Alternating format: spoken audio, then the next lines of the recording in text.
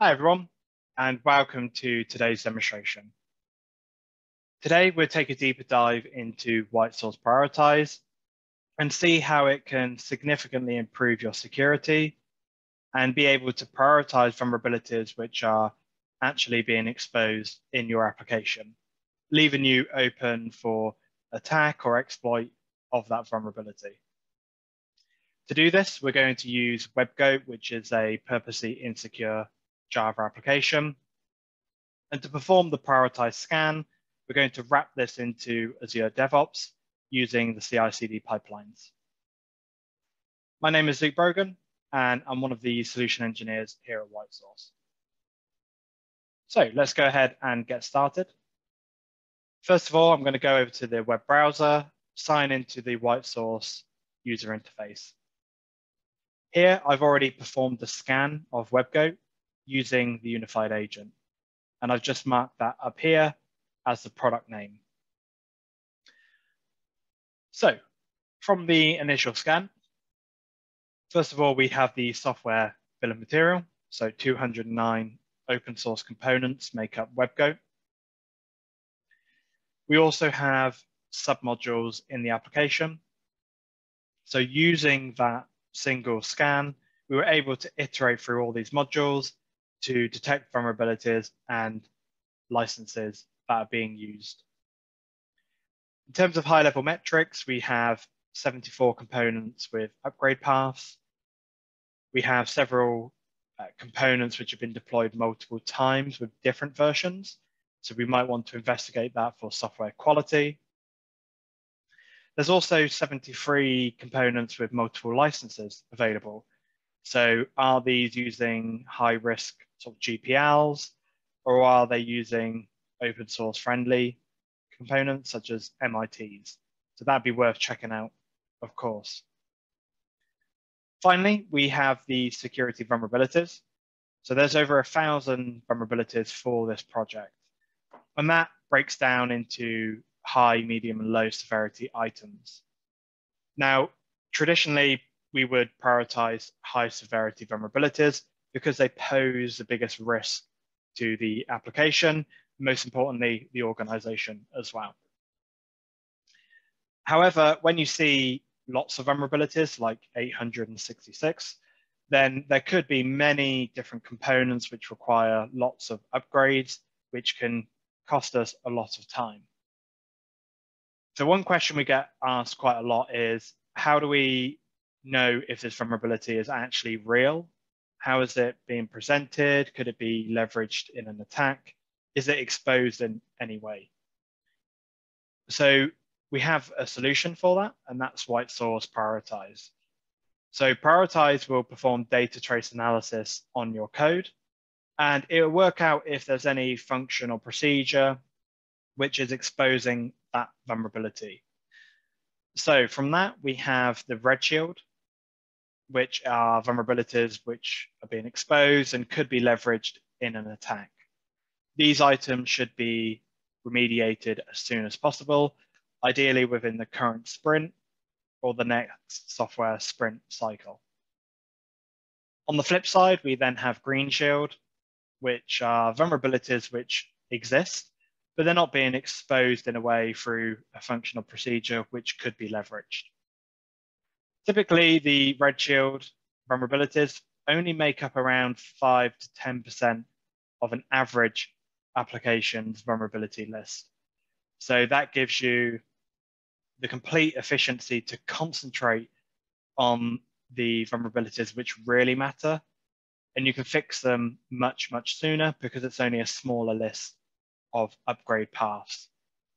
So not only protecting the application, but also protecting uh, the business and the organization itself. So what we need to do now is run the multi-module analyzer for WebGoat because it has many submodules. And then we can perform the effective usage analysis and run prioritize using that unified agent. So let's get started. We head over to Azure DevOps. I'm going to go over to repositories we already have WebGoat imported, and I'm using the branch release 8.1. From here, we can go and set up a build, scroll down, and just use a starter pipeline for now. Go ahead and delete its contents. I'm going to head over to Notepad++, and I already have a template available to scan a multi-module Maven project in Azure. Uh, don't worry if your project's different, if you're using uh, sort of like Gradle or you're using uh, a Python-based project. We have a white source uh, GitHub page with all of the templates available. Uh, so whatever language or CI/CD provider you're using, check that out in the description below and basically just copy and paste the templates and adapt as required. So really easy, get that pasted in. Let's take a, a quick walk through uh, exactly what this YAML file is doing. Uh, first of all, we said it was a Maven-based project. So we need to install a certain version of Java, and we need to build and do a clean install of this project using Maven. Secondly, we're building the white source configuration file. So here we have the API key, the user key. We've defined a variable project and product name. I've just hard coded prioritize on the end so we can identify that in the UI. And we're sending to SaaS EU as an environment. And finally, these variables at the bottom define the effective usage analyzer. So we want to enable impact analysis and we're setting some Maven specific variables as well. Depending on the language you're using, these will look a bit different, but of course, take a look at the technical documentation that's relevant to your package manager. Finally, at the bottom, we're going to curl the unified agent and the module analyzer. We're going to use the module analyzer to see what modules exist in the project and write that to a multi-module.txt file.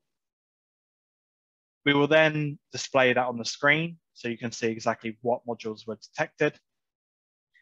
And finally, we parse that file into the unified agent to perform the scan on each of these projects. So I just need to define my variables. So we do a new variable. First of all, we need the API key, which is going to be a secret. So we head over to the integrate page on the white source application, copy the API key at the top. Next, we need to add the user key. So we can type that in at the top click on the add, and head over to your profile, scroll down and generate a new key. We can copy that and paste that into the value and hit save. So we can see both of our variables are now available there. We can go ahead and hit save and run. we can now see the job has been queued. So just click on the job at the top and we can see the standard out from this job taking place. So come back in a few moments time when this is finished for us. So we can see the scan has now successfully taken place in the pipeline. If we just go back to one of the steps here, we can take a look at the output so just scrolling down, you can see all the modules which have been scanned. But most importantly, the list I wanted to get to uh, was just at the top, where we have all of our submodules here, which have all been scanned successfully. So uh, if we now head over to White Source, click back on uh, the home area, go to products. Uh, if we just type in the name of the organization, we have the prioritize product. Go ahead, select that and press enter. And you can see the key difference here is we now have data for white source prioritize. So if we go ahead and click on any one of these red shields, um, we can order by the red shield column. We can see all of these vulnerabilities are exposed in the application.